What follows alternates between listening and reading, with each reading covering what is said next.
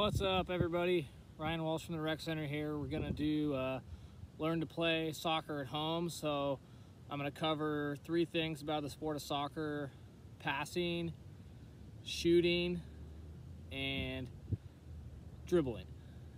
And uh, I'm gonna give you some demonstrations and some tips. Obviously, if you have somewhere to play or a goal or people to play with, that's great. But if you're by your own and you wanna try to play some soccer, uh, I'll give you some tips. So the first thing we're gonna do is juggling.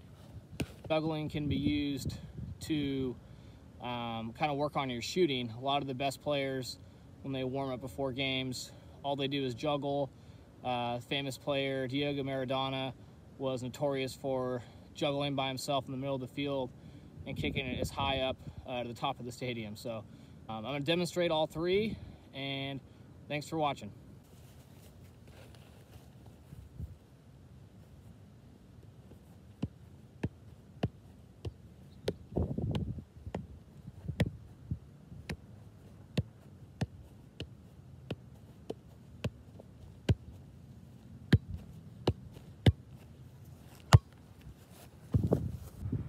So that was juggling. I'm not very good at juggling. Uh, some tips I would say is to try to lock your ankle, try to keep it not too high, not too low. So maybe from your waist to your head. But honestly, a lot of juggling is just learning and practicing and you know, you, the ball goes in random places and it helps your uh, different parts of your body warm up and adjust to different parts uh, of your body where you're gonna have to move in order to shoot and score and pass and trap the ball. So um, definitely keep working on it. I'm working on my juggling as well and getting better every day. Uh, next thing we're gonna do is dribbling. So if you have a patch of grass or a driveway or something, um, you can basically practice dribbling anywhere. It helps to have some kind of cones or objects, maybe other balls. Uh, I got some extra discs, frisbees laying around, so I'm gonna throw them out in the field and show you some dribbling. Uh, really, with dribbling, you just kind of want to work on being as fluid as possible. Um, so I'm going to demonstrate some one touches, two touches, and also working on the inside of the foot and the outside of the foot. So uh, see how that goes.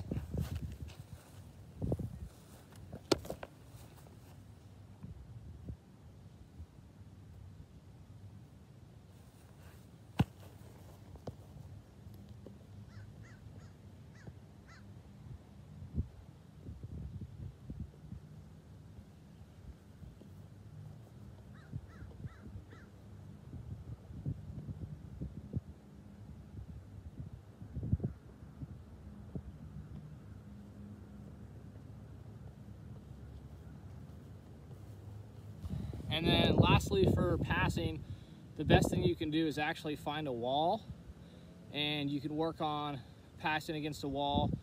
Um, again, using the inside of your foot, using the outside of your foot. If you don't have a very good weak foot or opposite foot, I'm right footed, so my left foot isn't very good. You can really practice getting good at kicking the ball with the outside of your foot um, or the outside of your foot with the right you're trying to pass to the right. So if I'm trying to pass to the left, obviously that's a natural movement. But if I'm not a great passing left and I have a teammate to the left, uh, you can actually pass with the right side of your foot um, and get that little pass out there. So it's really good practicing with both feet, inside, outside, and just keep working on it. I'll do another demonstration once we find a wall. What's up everybody? So we found a wall. Uh, so I'll give some demonstrations in a minute here um, on just practicing your passing against the wall. Uh, as far as advice, some people like to lock their ankle down for more crisper passes.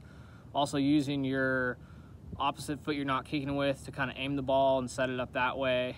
Um, and then use your kicking foot to kind of come through like that. Uh, but uh, yeah, personally, I would just do what comes naturally and just start kicking it against the wall uh, as many times as you can.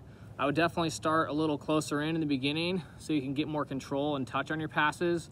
And then as you get more confident, you can kind of scoot it back and then really start ripping the ball a little harder. And then wherever the ball kind of comes, you can trap it um, and then just kind of randomly kick it and trap it and do whatever, use whatever body part makes sense for when the ball's coming back to you. Because the further you are, it's going to be a little more uh, powerful and a little more random. So uh, yeah, let's try it out.